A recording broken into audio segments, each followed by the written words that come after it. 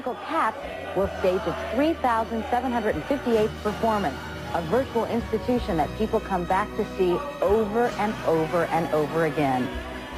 Grizabella is the tattered glamour cat who sings the haunting showstopper memories.